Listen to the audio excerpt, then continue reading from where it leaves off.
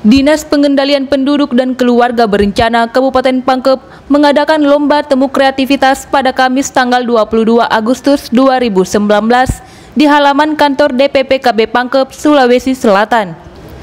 Dihadiri oleh Kadis DPP KB Pangkep, Sekretaris DPP KB, para kepala bidang dan PLKB atau PKB. Kegiatan ini diikuti oleh peserta dari masing-masing kecamatan, sekolah yang ada di Kabupaten Pangkep. Adapun jenis lomba yang diadakan seperti lomba yel-yel KB diikuti oleh empat tim, lomba penyuluhan oleh enam orang, lomba poster delapan orang, lomba madimpik tingkat SMP dan SMA masing-masing empat tim sekolah, lomba pengelola administrasi Balai Keluarga Berencana atau KB, Tribina, dan UPPKS masing-masing kecamatan. Kegiatan ini dibuka dengan melaksanakan upacara pembukaan yang dipimpin oleh Kabit Penyuluhan dan Penggerakan Alfia Mutmainna STMT. Lalu dilanjutkan dengan senam mau mere.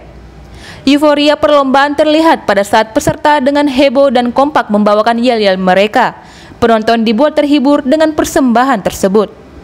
Pada bagian presentasi mading tiga dimensi oleh siswa juga dibawakan dengan penuh percaya diri, begitupun dengan penyuluhan mengenai masalah-masalah yang ada di Kabupaten Pangkep yang kita laksanakan hari ini adalah lomba kreativitas. Ya, yang sasarannya itu adalah PKB, PLKD, PLKB PNS, PPKBD, PPKBD, kelompok PKS. Maksudnya adalah untuk merangsang uh, kreasi mereka, melihat jangan sampai di antara mereka itu ada yang berbakat yang kita tidak cermati. Jadi dengan adanya kegiatan ini maka nampaklah uh, munculnya bakat-bakat terpendam. Ya, saya senang sekali dengan hasil yang ditampilkan. Uh, kreativitas mereka uh, tampil, ya muncul, kemudian uh, memang itu yang kita harapkan. Namanya juga lomba kreativitas. Kita merangsang mereka untuk selalu dan selalu kreatif. Ya, di samping itu juga untuk menguatkan silaturahim antara petugas di kantor dengan petugas di lapangan. Uh, temu kreativitas ini berapa kali laksanakan? Oh, baru dua, dua kali. Jadi tahun lalu satu kali, kemudian tahun ini. Mudah-mudahan ke depan bisa. Harapannya Ibu uh, ke depannya kegiatan ini seperti apa bagaimana? Ya, tentu harapan saya ke depan kegiatan ini uh, tetap berlangsung dan pelaksanaannya apanya dan sebagainya itu harus ada peningkatan.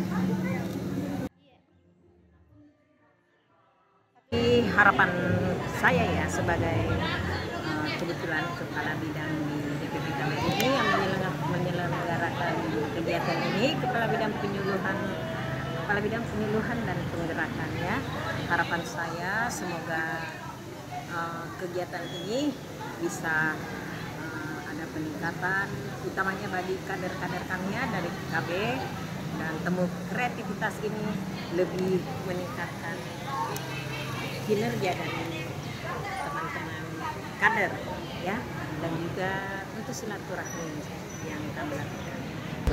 Hadiah yang diberikan berasal dari APBD 2019 dan juga sumbangsi dari pihak DPPKB itu sendiri. Adapun tujuan dari kegiatan ini adalah membangkitkan jiwa kreativitas para kader dan juga siswa untuk bersaing di era globalisasi yang melaju pesat. Dari Kabupaten Pangkep, Sulawesi Selatan, Anissa Eka, Pangkep TV, mengabarkan.